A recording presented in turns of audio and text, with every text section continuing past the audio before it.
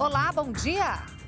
Puxada pela queda no preço dos combustíveis e dos alimentos, prévia de setembro indica deflação.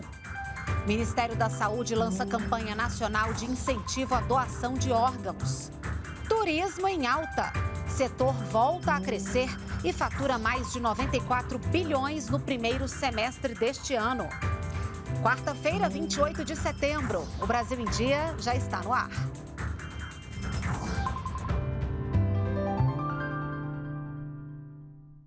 Oito horas da manhã, estamos ao vivo também pelas redes sociais.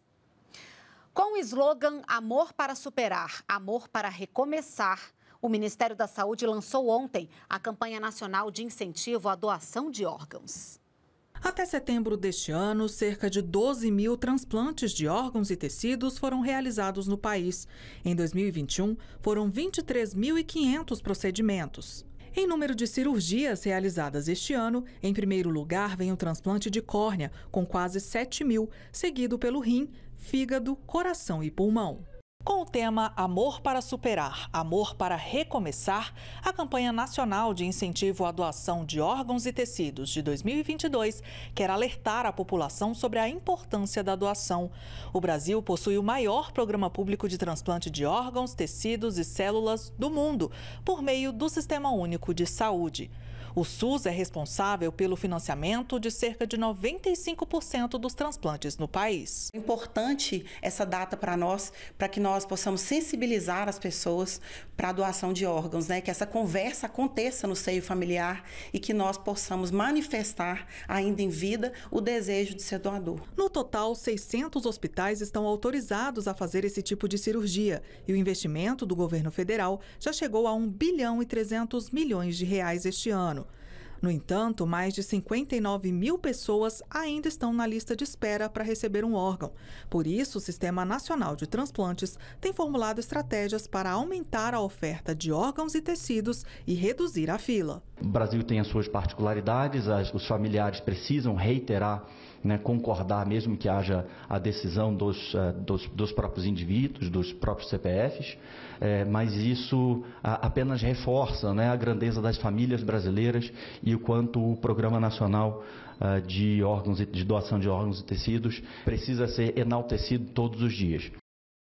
E ontem foi celebrado o Dia Nacional da Doação de Órgãos. O Brasil é o segundo país do mundo que mais realiza transplantes. São mais de 600 hospitais autorizados para fazer esse tipo de procedimento, mas a fila de espera por um órgão também é alta. Jéssica carrega um cilindro de oxigênio para onde vai, enquanto espera por um transplante de pulmão. Isso faz quatro anos. Ela tem fibrose cística e perdeu o irmão para a mesma doença enquanto ele esperava pelo transplante. Por 14 anos, eu consegui manter a doença super estável, só fazendo inalação, tomando os cuidados que os médicos falavam. Porém, em 2018, a minha doença teve um avanço repentino. E aí eu acabei entrando para a lista de transplante com 18% de capacidade pulmonar. Hoje a Jéssica faz campanha pela doação de órgãos. O que a inspirou foi ter conhecido uma mulher que se arrependeu por não doar os órgãos do filho. Enquanto eu consigo andar, eu, meu oxigênio, eu vou dar voz para minha causa. Matilde doou os órgãos do filho que morreu de forma violenta aos 28 anos. O gesto a ajudou a lidar com a perda. A gente resolveu então passar essa felicidade que ele tinha para as outras pessoas ficarem felizes também e ter um momento de vida boa. Nunca tínhamos pensado em fazer doação de órgãos, mas naquele momento triste foi a primeira coisa que nós pensamos, eu e meu marido. Famílias que conversam sobre doação de órgãos tornam mais leve a decisão quando ela precisa ser tomada e transformam um momento difícil em uma possibilidade de vida. Quando entrou na fila para um transplante de rim em 2017, Giovana criou um projeto que virou o Instituto Deixe Vivo, que fornece informações para acabar com os mitos em torno da doação. Hoje, para você ser um doador de órgãos no Brasil, você precisa é, avisar a sua família da sua decisão, porque é eles que dirão por você. Ela conseguiu um rim há três anos. Falar sobre doação de órgãos não é falar sobre morte só, é falar sobre vida também. Uma pessoa pode salvar até oito vidas. E eu sou a prova disso. Eu estou aqui hoje porque uma família disse sim para a doação de órgãos e salvou minha vida e eu sou eternamente grata. Vamos falar de educação? Os candidatos do ProUni que não foram pré-selecionados em nenhuma das chamadas do programa Universidade para Todos têm até hoje para participar da lista de espera. Glauco de Queiroz tem os detalhes para gente. Glauco, bom dia. Olá, Renata. Bom dia para você e bom dia a todos. É isso, né? O prazo se encerra hoje. Para entrar nessa lista de espera, né, o estudante deve manifestar interesse lá no site acessounico.mec.gov.br. Né? Os resultados da lista de espera serão divulgados no dia 3 de outubro. E a etapa de comprovação de informações para os selecionados nessa etapa será de 3 a 7 de outubro. O ProUni é um programa de acesso ao ensino superior superior que oferece bolsas parciais e integrais em instituições particulares. Desde a sua criação, nem mais de 3 milhões de pessoas foram beneficiadas. E nas duas edições deste ano, o ProUni eh, já concedeu cerca de 460 mil bolsas parciais e integrais. Para participar, o candidato deve né, comprovar renda familiar bruta mensal por pessoa de até um e meio salário mínimo, isso para a bolsa integral. Já para a bolsa parcial, a exigência é de até três salários mínimos. Renata, eu volto com você. Tá certo, Glauco. Obrigada pelas suas informações. E durante a entrevista ao programa de rádio A Voz do Brasil, o ministro da Educação, Vitor Godoy, falou sobre a alfabetização pós-pandemia e a capacitação de 750 mil professores para atuarem nesta etapa de ensino. Alfabetizar uma criança exige técnica. E o que nós fizemos no Ministério da Educação foi, em 2019, criar uma secretaria especializada em alfabetização. Lá nós colocamos técnicos que conhecem do assunto.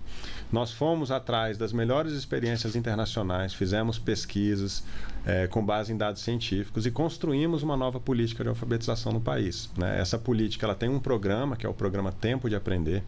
Esse programa já está em mais de 5 mil municípios brasileiros. A gente já formou, já capacitou mais de 750 mil professores da, da rede pública e privada. A arrecadação de receitas federais em agosto superou 172 bilhões de reais e nos oito primeiros meses deste ano chega a quase um trilhão e meio de reais. Os dados foram divulgados pela Receita Federal. A arrecadação federal de impostos registrou alta de 8,21% em agosto na comparação com o mesmo mês do ano passado. No total, o governo federal recolheu cerca de 172 bilhões e 300 milhões de reais em impostos em agosto deste ano. Já nos oito primeiros meses de 2022, a arrecadação atingiu a marca de mais de 1 trilhão e 400 bilhões de reais. Isso representa um aumento de 10,17% em comparação com o mesmo período de 2021. É o melhor desempenho desde 2000, tanto para o mês de agosto quanto para o período acumulado. Nós tivemos é, arrecadações bastante elevadas associadas é, a, aos setores de mineração, ao setor de refino de combustível e a extração também de combustível.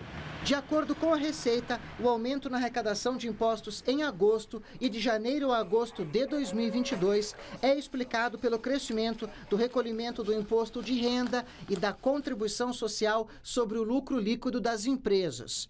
Outros destaques foram o crescimento das arrecadações previdenciária e do Simples Nacional e o crescimento da arrecadação do imposto de renda sobre investimentos no mercado financeiro. O aumento do, do trabalho formal né, o crescimento dos postos de trabalho na economia, tem impacto na arrecadação federal, por meio do aumento da arrecadação das receitas previdenciárias e de outros tributos, como, por exemplo, o imposto de renda retido na fonte, rendimento do trabalho.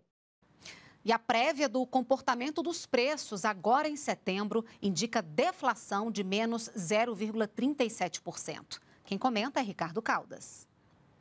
Olá, bom dia a todos. O nosso tema de hoje é a inflação no Brasil. Não a previsão de inflação, mas a inflação real. E para tratar desse tema, a nossa equipe de produção preparou uma arte para você, telespectador. Passamos a compartilhar a partir de agora. O que, que nós temos então aqui? O resultado do IPCA 15, que é o IPCA de setembro até o dia 15, foi de 0,37%, ou seja, uma deflação de 0,37%. Quais as razões da queda? Três grupos principais: comunicação, transportes e alimentação, com destaque para comunicações, especialmente a queda no preço que aconteceu na área de telefonia fixa, celular e também naqueles pacotes tipo combo, que inclui TV, etc. Os preços foram realmente bastante reduzidos em função da concorrência. Na área de transportes, a queda foi no, na gasolina e no álcool, continuou, e agora também a crescida da queda no diesel e no gás de cozinha. Em termos de alimentação e bebida, o destaque foi a queda no preço do leite, que foi o vilão da inflação em julho, agora ele é o herói da deflação. Em termos de alta, nós temos principalmente vestuário, saúde e despesas pessoais, com destaque para vestuário e, em particular, moda feminina, que foram os responsáveis por essa alta de 1,56.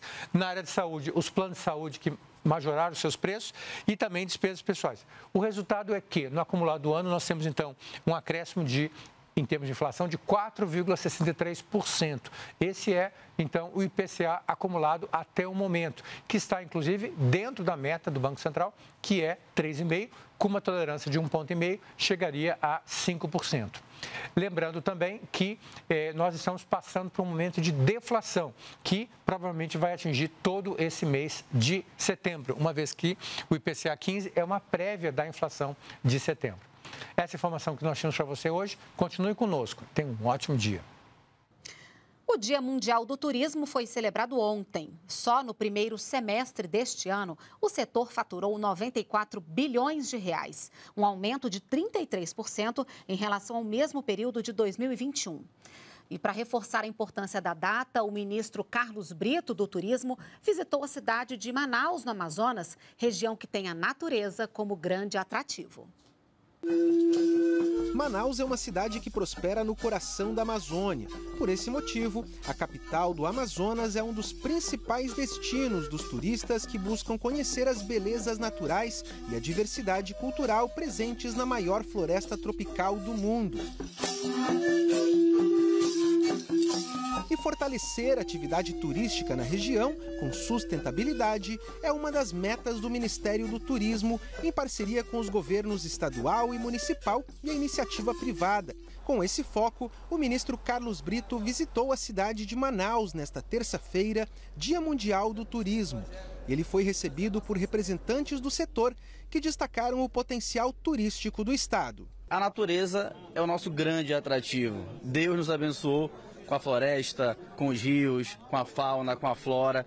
E a gente não pode perder esse atrativo. Na capital, o ministro Carlos Brito também esteve no Centro de Convenções do Amazonas Vasco Vasques, entregue em 2021 e que recebeu 40 milhões de reais do governo federal.